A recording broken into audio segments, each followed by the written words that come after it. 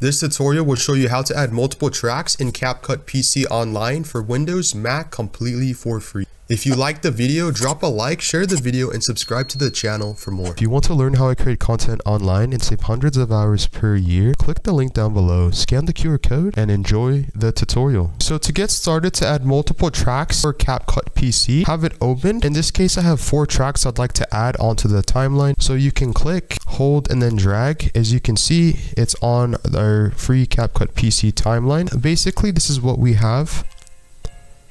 As you can see, it's an NCS, or should I say it's a video and it's an audio layer, right? You can right click on the video and click extract audio. So now we have the video and the audio clip. And basically what you could even do is click on the audio, hold down Alt and drag down. And as you can see, we just successfully duplicated the audio piece. And now we have two audio pieces. You could even do the same thing with the video. Click, hold down Alt and drag it up and as you can see we have two video clips.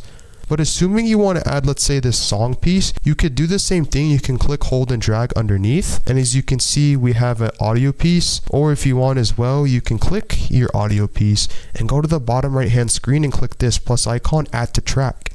And as you can see it added it to the track.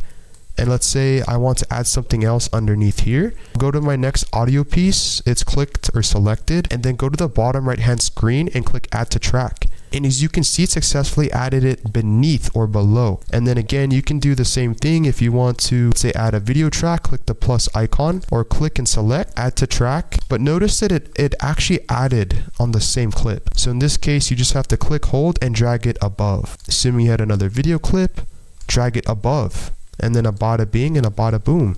Again, if you want to learn how you can save hundreds of hours and money online per year creating content, click the link down below, scan the QR code, and thanks for watching this tutorial.